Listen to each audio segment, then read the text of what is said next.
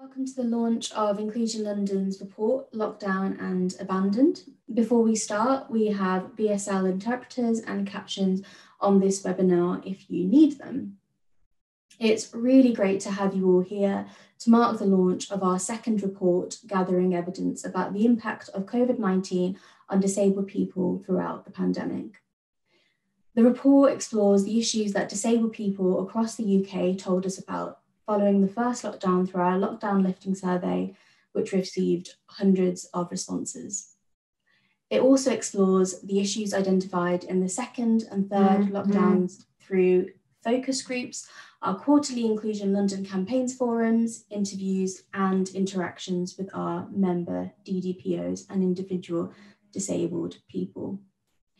We identified five areas where disabled people were being impacted which were with mental distress, employment and financial difficulties, social care, access to healthcare, medicine and vaccines, access to the community.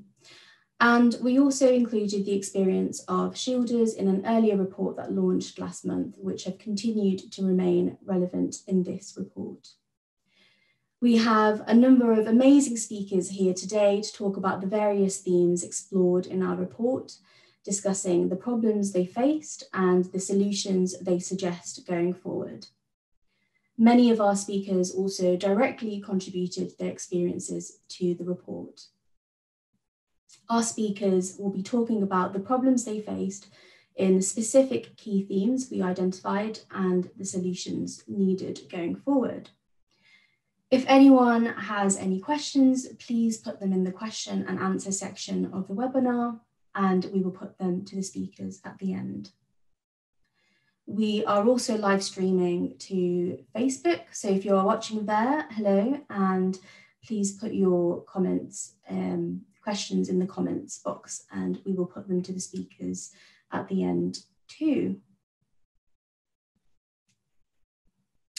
So I will now go on to introduce our speakers. I believe we have our speaker for the financial difficulties and employment section, which is Piers Wilkinson.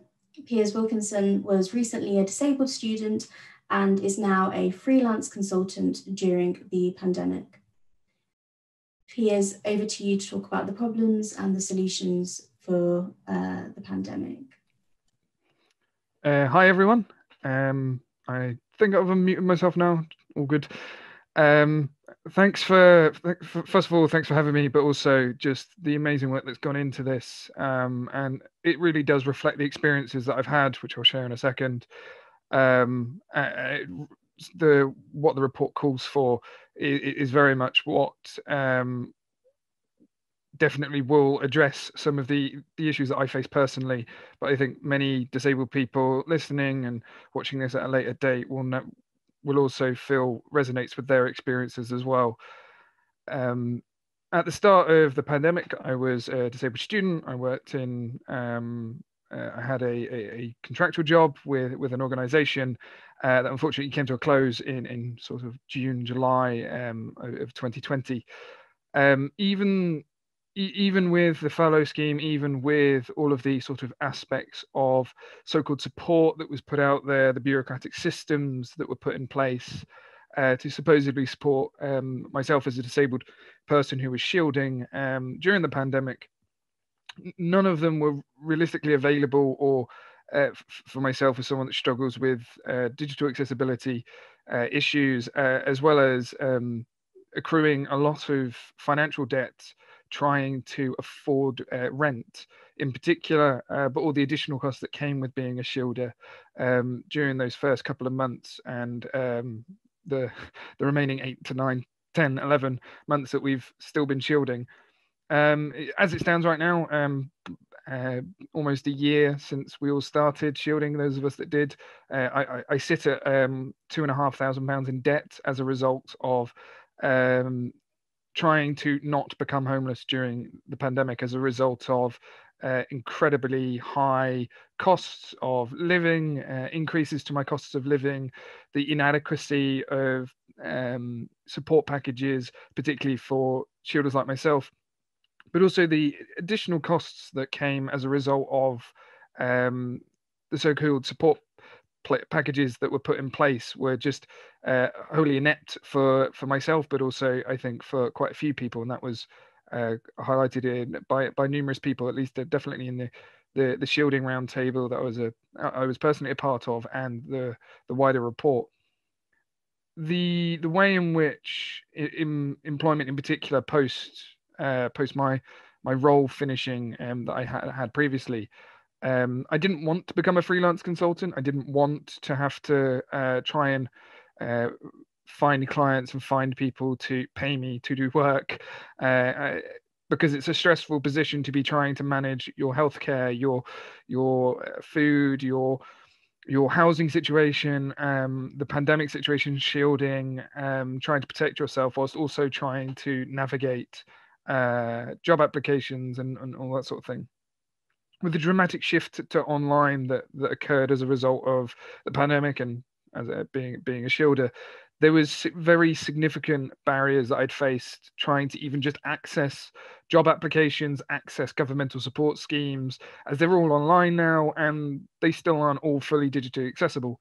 Um, I use assistive technology um, to be able to access predominantly most of the stuff on my computer, but in particular PDF forms uh, and and those sorts of um, uh, documentation that are necessary to apply for jobs, to apply for support, um, and even even when I did get the the meager support that is available for disabled people, um, it, it, wasn't enough to pay for my rent. Hence why I'm two and a half thousand pounds in debt.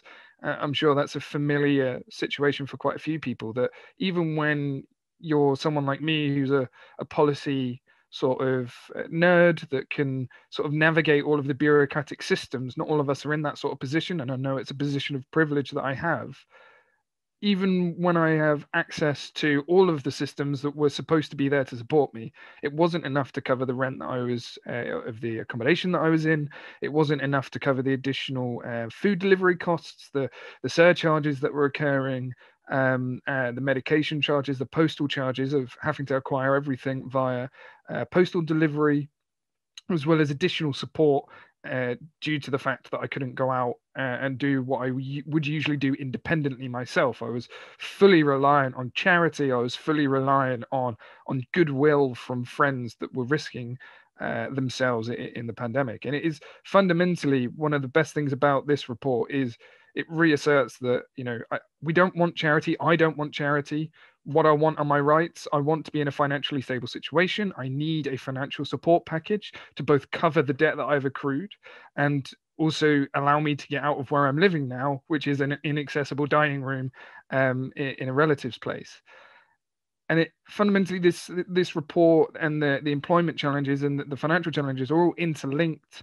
Um, and the report highlights that quite well of how it's just one domino effect after another, all accruing uh, impact after impact, barrier after a barrier, where we're a second thought, we're, well, you're shielding, you'll be fine.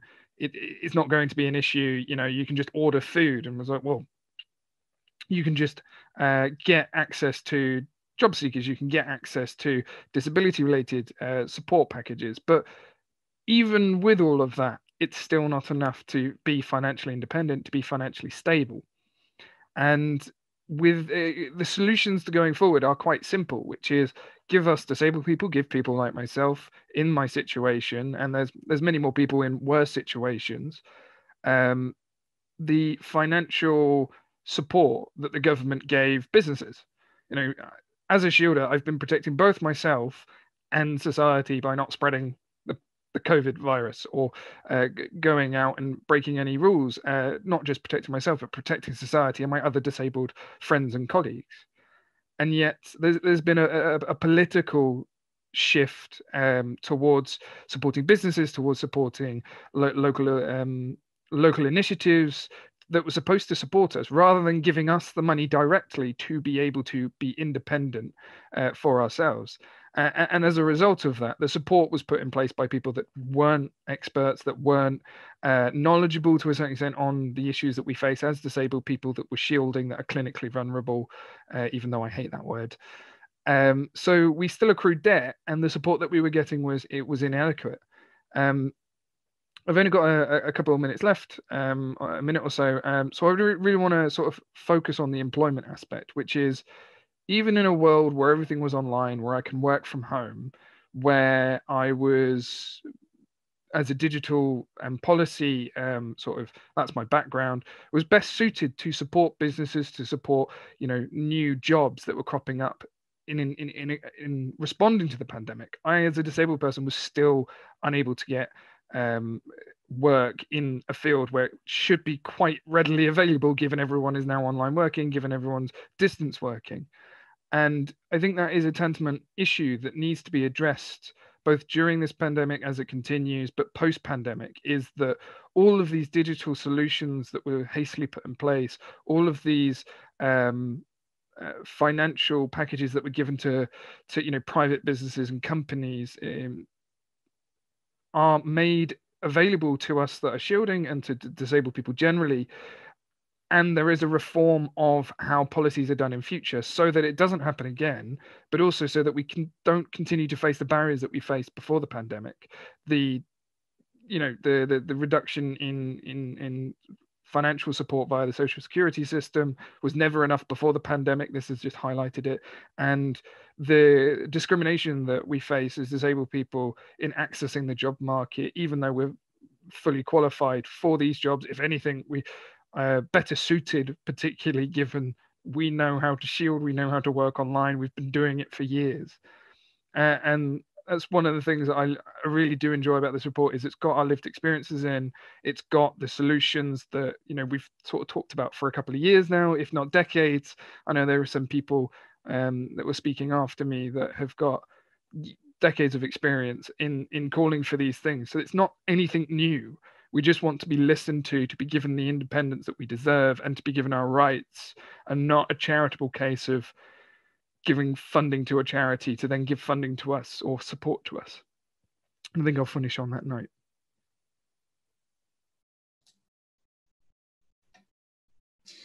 Thank you, Piers, uh, for sharing your experience. Um, that was really insightful and um, really important to share. Our next speaker that I will move on to is Ossie Stuart, who will be talking for five minutes about the problems and solutions with respect to shielding and the intersectional impact during the pandemic. Ozzie, over to you. Uh, good, good evening, and again, thank you for inviting me to this event to speak. Um, I would just want to first want to say how much I endorse everything Piers has to say about the experience people have had generally around with um, the kind of COVID 19 pandemic. What it has shown us is how fragile uh, our society is and how how um, conditional the support that we've been uh, we've been assumed uh, we had assumed was a right, but it was but obviously it, it quite turned into a a conditional uh, support that could be taken away at a, as a at a uh, click of a finger, so to speak one thing in the pandemic for me has been has taught me is that um, we've not won the argument. The argument has always been about rights, choice and control, as Piers rightly pointed out, and and also um, in, empowerment and, and, inclusion of disabled people in our society, wider society. Um, pandemic's shown us very much that that has been uh, that has never been the case, and in fact, the um, conditional support we had has uh, has been was marginal, uh, grudging, and it can be taken away just just a click of a finger. I'm talking about shielding today and also intersectionality. The reason why those two things are very important is because you'll know that people from minority communities have been specifically impacted on, on by the pandemic across the board. But specifically, and where intersectionality is important in this, is that we don't look at people as just uh, one dynamic, one individual. You are who you are, but you will be impacted upon the structure of our society discri- discriminate on a number of levels. And from a minority community's perspective, that can be quite profound and it can be quite um, uh, basically a matter of life and death. As we can see, we, we all know the data around the fact that if you're from a minority community, you're more likely to die from the pandemic. If you're with learning disabilities, uh, you're six times more likely. But if you dig down in those, num- those numbers, even within the people with learning disabilities, uh, people from minority communities are four times more likely than somebody who's, who is not uh, from a minority community who's learning disabilities to die as well. So there are issues around issues that really speak to that intersectionality, the fact we live certain types of lives and we're we're impacted our disabilities, etc., are aspect are aspects of our lives which then drive other parts of our lives too. Shielding. When the pandemic started way back last March, social care disappeared for me, for me, and for many people I know in Camden. I'm a, I live in Camden, centre of the universe, of course. Camden Social Services disappeared. We didn't know what to do. Uh, we couldn't contact anybody. What, what happens our PAs disappeared? Who would help us? There was no reply. We were left on our own. It was like a dystopian movie um, where where you go through a, an abandoned world that's been devastated, and you see all these dead bodies of people who died in this horrible situation. Well, I must admit, I was probably would have been one of those dead bodies because I felt that abandoned. It was quite frightening. I've never been actually. I've always taken social care services for granted, in the sense that although we argue about it, or we, we say it's not enough, although it's humiliating, debilitating, although it's conditional, we always thought it would be there I never thought it would disappear. And its impact has been quite profound when it has on a lot of people. So talk about uh, just getting access to food, access to information, uh, access to just communicating, making sure your PAs, if you had them, support services stayed around you, your family could stay around you. Suddenly, all these things became conditional, became, became marginal. You didn't know it would actually happen. From my point of view, um, I was I'm incredibly and I use the word grateful in its right word here to my PAs who made it their point. Because to be honest, choice and control only can only work if you've got the right support to do so. And my PAs understood that I was I'm an equal human being like anyone else. So they were not going to abandon me from that point of view. But that's not been the case for everyone. And one thing we need to talk about when we talk about the COVID, the COVID pandemic and its experience, our experience of it, it was um, different for different people. In a lot of ways, it was a postcode lottery, depending on lo which local authority you lived in. Some local authorities stepped up, I can think Tower Hamlets. Camden did a pretty good job, relatively terms, but other local authorities were just as autocratic and dictatorial about, for example, direct payments and how they should be used, about flexibility about um, using your funding differently, access to PPE.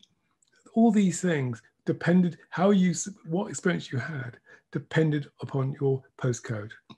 Access to uh, information in terms of getting support you need and piers mentioned the voluntary conditional support which frankly who wants to depend on goodwill? But actually it was crucial for some people. But even that was conditional. And it was a surprise for you. When um, some local authorities got their act together and began to say to the people your volunteers can we have we put volunteers and we'll put people in to support you. Um, but we worry about the fraud around these things about how you use your benefits etc well where we? One year down the line brent council for example has had not one report of somebody misusing their direct payment over this period of time. No surprise there. Although we're monitored to death as if we are basically criminals in terms of how we use our direct payments so there is a there are lessons to be learned from this about who who to be trusted, who to be listened to. It should be service users, uh, people like ourselves. I use the word service users, but I say to sell people ourselves who are the experts. We need resources, and we know how to spend them correctly. If we're not provided with them, we won't be able to do so. And it's ironic that, as Piers rightly pointed out, that these systems are put in place not with our will or bidding, but in, on our behalf, because, uh, for example, voluntary sector organizations stepping in, etc., given funding to do that. It would have been more helpful, as Piers pointed out, if the funding could have come directly to us, to, for us to decide how we would spend it. Because frankly, we would be the best people to do so.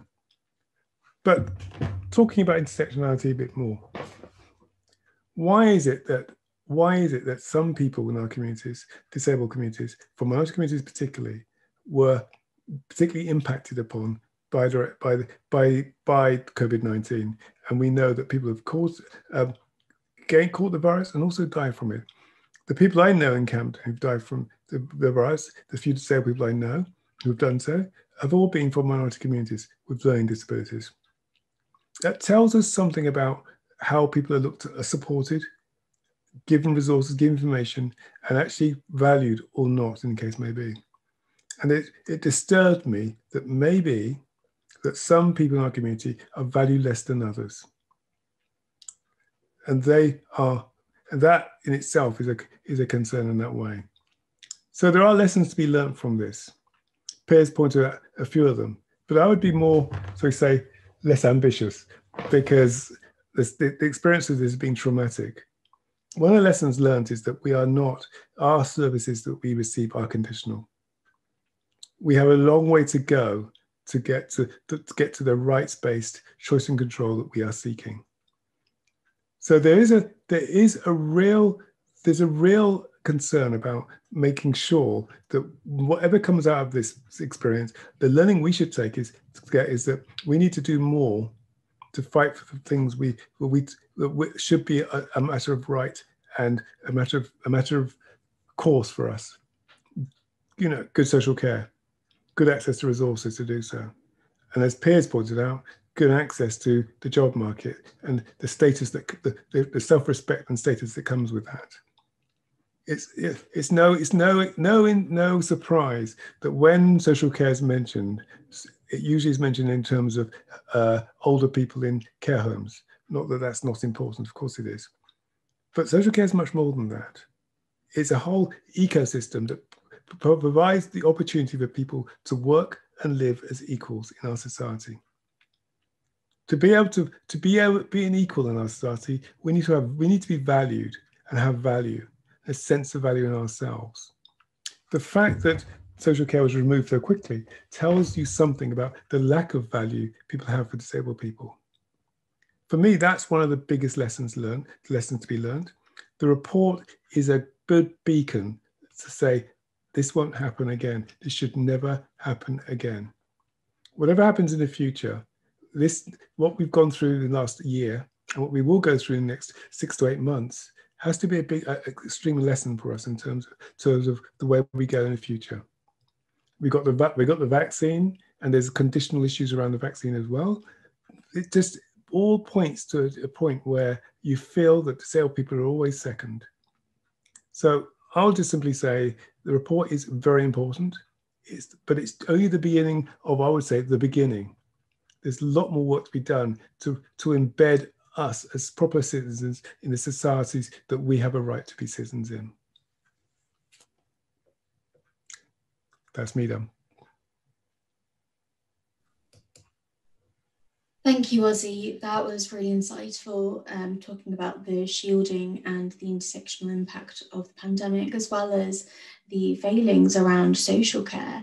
Um, and that is another section within our report um, and leads me nicely on to our next speaker, um, which is Colin Carpenter, who will be talking for five minutes, please, on the problems that you faced during the pandemic and some solutions that you can seek going forward, uh, specifically with respect to social care. Over to you, Colin. Hi, sorry about that. Um, yeah, uh, my biggest problem really is uh, I'm sort of co-parent with my ex, and we have joint custody of our daughter. So I have my daughter one week, and she has her the next week. And biggest problem I, found is trying to fit in shielding with severe lung restrictions to having a daughter. So from the start, when this pandemic all started, I've uh, my daughter's not stayed with me for a year. Um, she's only been the only time she was really able to stay was for the summer holidays when the first lockdown ended and you know my, my there was a we managed to do a two week worth of shielding because my daughter wasn't at school.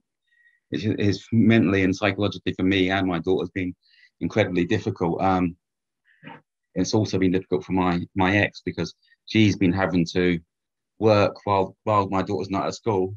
Um but where she lives now there's someone who has a public role and has to be out in the public dealing with people. So my daughter's there, couldn't come with me, couldn't stay with me. Uh, it's just been a bit of a nightmare. And this this second time as uh, well, I'm sort of taking I wouldn't say taking more risk. I'm using more PPE and with instead of just seeing my daughter here and there for a couple hours every day, I, I've been having my daughter come and stay with me from say one o'clock until like six o'clock at night, and which has been really nice and been providing a bit of a respite from for my ex so she can get on with work and stuff like that. But it's been incredibly challenging um, not being able to be with my daughter and the distance and you know it, you know if it was a normal if we were in a normal household whereby we could both decide that you know we didn't have to send our daughter to school when she was good but we both agreed that it was more beneficial for my daughter to go to school even though knowing that the viral load of a child you know, childs aren't going to get ill but there's still going to be a big issue of them passing the virus onto someone else like myself um, was a big thing. So we knew we both knew it was more important for my daughter to go to school and i just i lost out. And so what we're doing now is i'm seeing my daughter outside most of the time for little things getting cold and all that stuff um, uh, but it, that's incredibly emotional um, the, the other thing i found out found about the lockdown is like yeah we know the nhs is under incredible stress and they are still trying to provide the care that we as individuals need in times of emergency. But um, in April this year, I fell out of my chair and uh, hurt my back. And uh, the NHS was fantastic as always. They managed to get me an MRI scan, and the scan was done. And it, it was referred to uh, several consultants, but the consultants that I needed to see over it, um, they were either on the front lines or they were in hospital, and it took seven months for me to get a proper consultation with a consultant. Um, and basically, for seven months, I was living under fear. Uh, I had, well, I knew I had a spinal syrinx on my neck, and I knew the consequences and was told of the signs to look out for, like, for a spinal stroke, i.e., being paralyzed from the neck down and not being able to breathe if it was to rupture.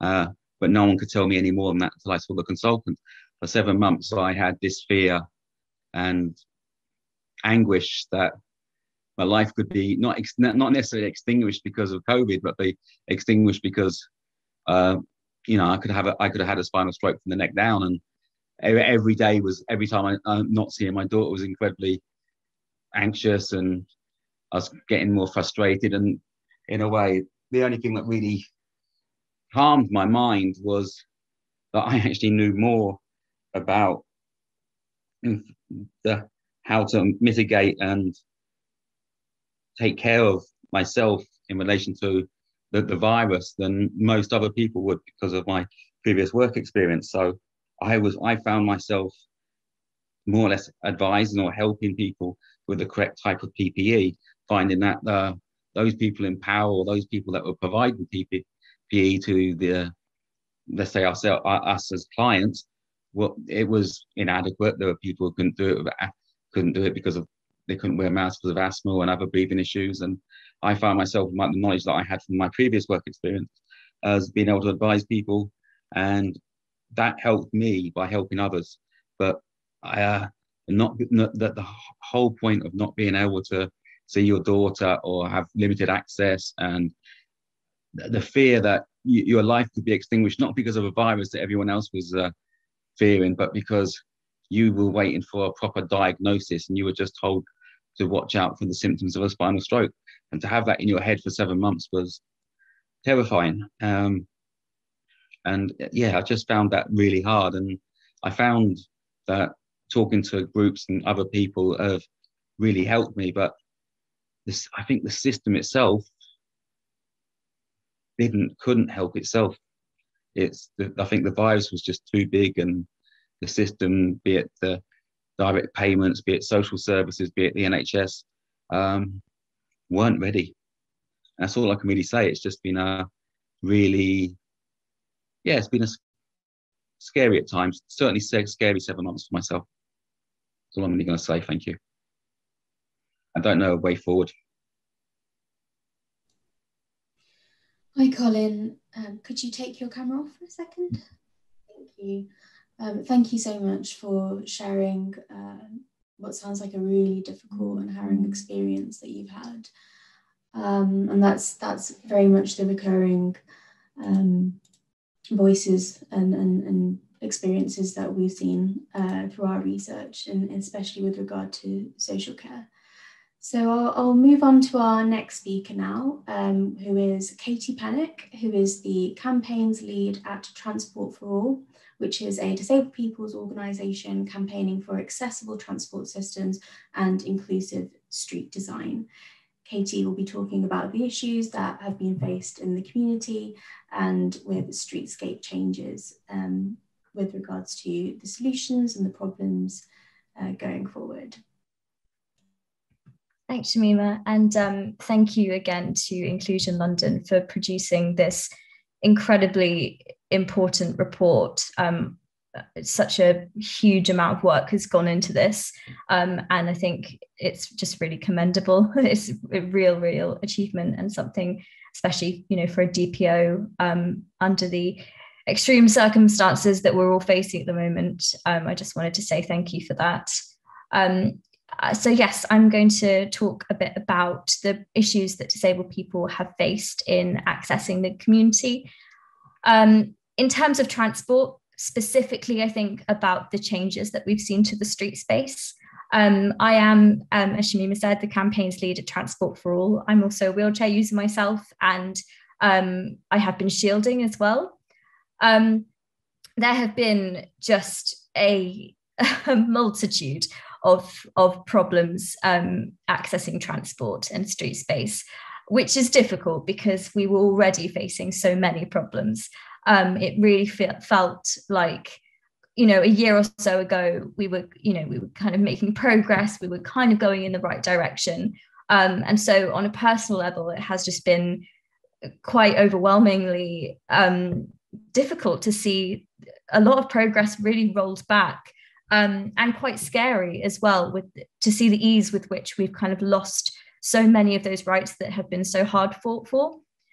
Um, in about May, uh, so in terms of the uh, general issues accessing community via public transport, um, yeah, we've seen a, a lot of rollbacks. Um, the turn up and go um, service uh, that is provided by both TFL and National Rail Services was sort of suspended, modified. Um, the the idea was that instead of having kind of hands-on assistance, um, so if you're a vision impaired, you know, having sight guiding from the frontline staff, or if you're a wheelchair user, you know, having kind of that physical hands-on um, support to go up the ramp onto the train, that was kind of all suspended, obviously because of social distancing. Um, uh, transport uh, providers were meant to kind of provide a taxi um, in place of that. We found so many examples of that not happening. Uh, there were issues with taxis and private hire vehicles, again with social distancing. Um, you know, uh, disabled people not being able to sit in the front seat, having to sit in the back seat, um, and you know not being able to do so, especially if you have mobility issues. There, face coverings has been a huge huge topic and a, a, a, concern that really hasn't haven't really got to the bottom of it. Um, this, like you know, obviously face coverings are mandatory on public transport for, but for those um, disabled people who can't wear face coverings, um, the messaging has been unclear, meddled. Uh, it has given rise to a great deal of peer policing on public transport. Um, and we've seen instances of hate crime and harassment, uh, which is just so deeply upsetting to see. Um, and then, of course, for those of us who have been shielding, um, there's a real kind of reluctance to use any public transport at the moment, anyway, full stop. Um, be, because of the the risk um, in terms of infection. We've had lots of stories from our members who have had real problems um, struggling to access you know the, the, the real things that you can't give up. So hospital appointments um, other you know physiotherapies um, treatments that you need to get to. Um, and for those people who you know don't drive uh, rely on public transport um, not having access to patient transport or community transport um, public transport has been terrifying, a terrifying ordeal if you are in that high risk category.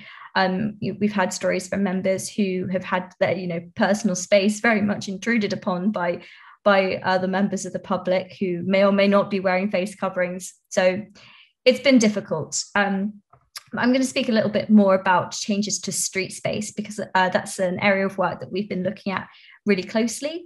Um, it was about May uh, or June, I think, last year that we started to get a real influx of inquiries, uh, questions, concerns, comments from our members, but also other disabled people, other people in the wider community with concerns about new new street space initiatives. Um, so the response to the COVID 19 pandemic saw a, a real sudden and dramatic change to our street space. Some of this was to aid social, social distancing. So, for example, the widened pavements. Um, other schemes were there to promote greener uh, forms of travel, so active travel, walking, wheeling, cycling. Um, so we saw traffic calming measures, so traffic filters, um, more cycle lanes put in, um, and low traffic neighborhoods. And um, we heard a lot of concerns about these schemes going in um, due to the kind of very immediate and urgent way in which they were put in. And of course, you know, we understand the reasons for this. Um, new kind of powers were granted to local authorities, which meant that these schemes went in under an experimental traffic order, which meant that the usual consultation and engagement processes that we would usually expect to see just weren't being done at all. Um, equality and impact assessments were patchy. In the instances where they had been done, they were being written by an individual who did not have the the necessary level of expertise in accessibility and and disabled people as as you would need to to write those um, equality and impact assessments. Um, but the the sort of the biggest problem here was that disabled people weren't being asked for their opinion weren't being listened to. And there was a real concern especially in this time frame when many disabled people many whom were shielding and not kind of visibly and physically out in street space out in the world um, there was a real fear that our concerns were just and, and our needs were just being completely ignored by policy make, makers. Um, so we decided to look into this. Um, we did a sort of big interview project. Um, and we interviewed disabled people across London in all of the areas where new low traffic neighbourhoods had gone in to find out what the concerns were, what the impact of these schemes had been, and, and, and what they'd like to see happen. Um, and we found a real range of opinion. Um, and that's really important to say because obviously we understand that a lot of these schemes for some disabled people have been really positive. Um, and for other disabled people, they've brought very negative impacts. But there is that range of opinion. Um, so, kind of on top of that, it's been really disappointing to see the way in which disabled people and our needs have been politicized and oftentimes used as a bit of a political point scorer by people on basically both sides of the debate without this key element of actually you know asking us of you know what we think. Um, so in terms of the the positive impacts of these schemes again i'm talking about low traffic neighborhoods cycle lanes traffic calming measures anything that encourages walking wheeling and cycling. Um, for those living inside of low traffic neighborhoods um, many disabled people observed a decrease in traffic and that brought with it the associated benefits of there being less noise uh, this was particularly welcomed by, for example, neurodivergent folk who um, found walking around their local area more pleasant, easier. Um, disabled people reported to us that they felt safer, um, for example, crossing the roads or um, riding their bike. Um, and this was really good to see, really positive. Um, and for many disabled people, particularly those who are hand cyclists or, or cyclists of any any sort of cycle um, these schemes encourage them to and, and enabled them to actually get out on their on their cycle more um, and be able to to use that kind of active travel, and um, disabled people reported kind of benefits to their health, both physical and mental health. So those were all great things and really good to see, um, and you know are the intended benefits of the low traffic neighbourhoods. Um, however, these benefits could not be enjoyed by everyone, and this is where the problem lies. So we heard a whole range of negative impacts on disabled people, and these were very um, upsetting to hear. Um, so many people observed actually an increase in traffic, particularly if they were on the kind of borderline, the, the boundary edges of a low traffic neighborhood. Um, but even for people inside, um, because low traffic neighborhoods are obviously meant to inconvenience car journeys, for those who rely on car journeys as perhaps the only uh, option that is accessible to them, they saw a real increase in their journey time um, an increase in journey time, disabled people told us, led to uh, disabled people feeling more exhausted. Uh, we heard reports of worsening of impairments, uh, particularly if you're, you know, sat down uh, for a long period of time, uh, or um, other other elements of that. Um, longer journey times obviously bring with it an increase in money being spent on those journeys. So not just in taxi fares, but also um, petrol. I heard from um, a disabled person living in a low traffic neighborhood who is on universal credit and who was saying, you know, I, I simply cannot afford this. You know, it gets trivialized as being only a few minutes extra onto your journey, but that's a few extra minutes that translates into extra petrol money that I simply do not have. So I'm having to make decisions now about which trips are the absolute bare necessities. And that's just not acceptable um, it wasn't just an increase in journey time for the disabled residents in these areas, but it was also an in- increase in journey time for any visitors to those residents. Um, and this had a real knock on impact in receiving care. So, for carers, uh, PAs, um, and even family and friends um, who were traveling to the disabled person to assist them, um, being stuck in traffic obviously meant that these appointments were late um, or had a knock on effect if a carer was making multiple trips to see multiple people in an area. Um, we heard a story from a disabled resident who said that some days she just didn't receive care that day. The PA just simply could not get to her. Um, and this, obviously, as we've heard um, from my previous speakers, combined with the impact that COVID 19 is already and was already having on um, care and receiving support, it all just snowballed essentially together. Um, all of these negative impacts, of course, are um, unacceptable in and of them their own, but they are being compounded and made significantly worse by the fact that disabled people simply do not have the equality in accessing other options. So we talk about the idea of carrot and stick, right? You know, if you're putting in a low traffic neighborhood to encourage active travel, it's meant to be there as a carrot to encourage you to to active travel.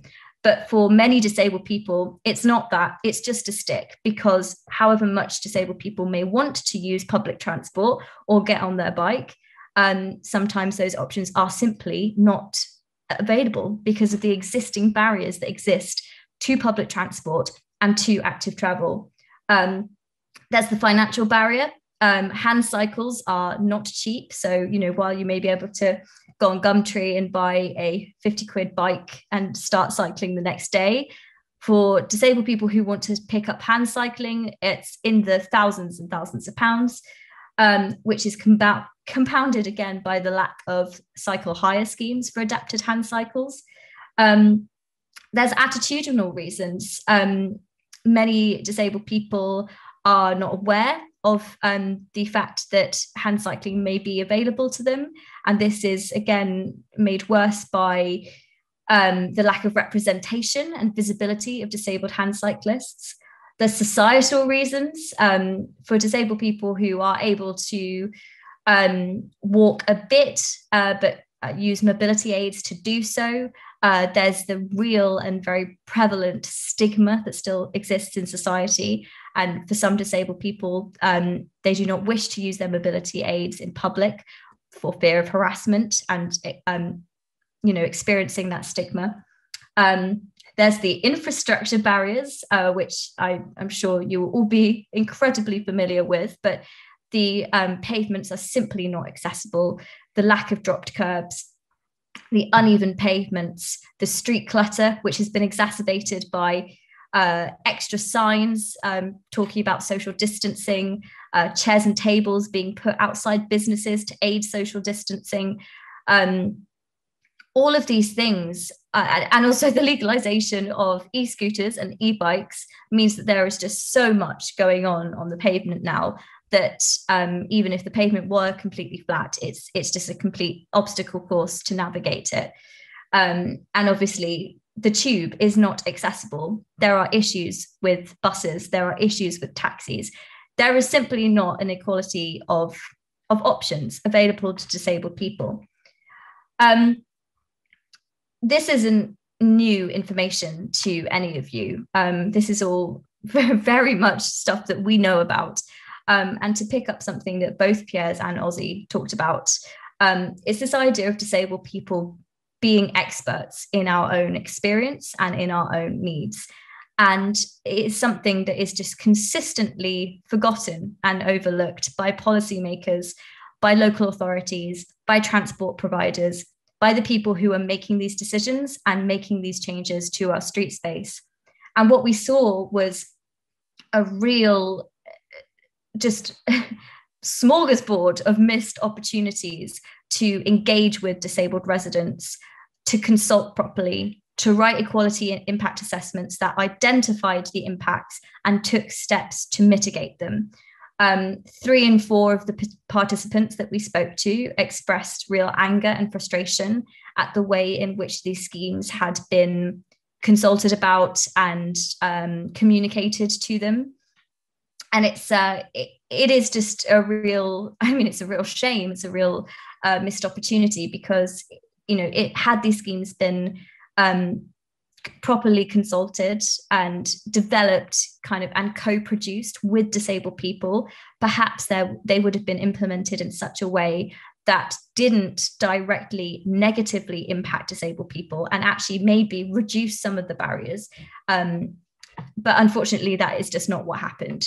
So you know thinking ahead what you know where do we go from here? Talking about solutions um, and the learnings from this i think um, and this is something that was very much backed up by the high court judgment if you saw that which was um, uh, the high court finding that tfl and the mayor had had, had failed to consult disabled residents um, on its street space for london scheme the learning from this is that we are the experts. Um, it, an equality and impact assessment cannot be done by, from a desk by a person who does not know the, the lived experience of disabled people. Um, it just cannot be done. So we need to see a more meaningful um, engagement with disabled people. We need to see schemes that are being co-produced, and we need to see um, disabled people treated as the experts that we are it all comes back again, as always, to nothing about us without us. And I'll hand back over to you.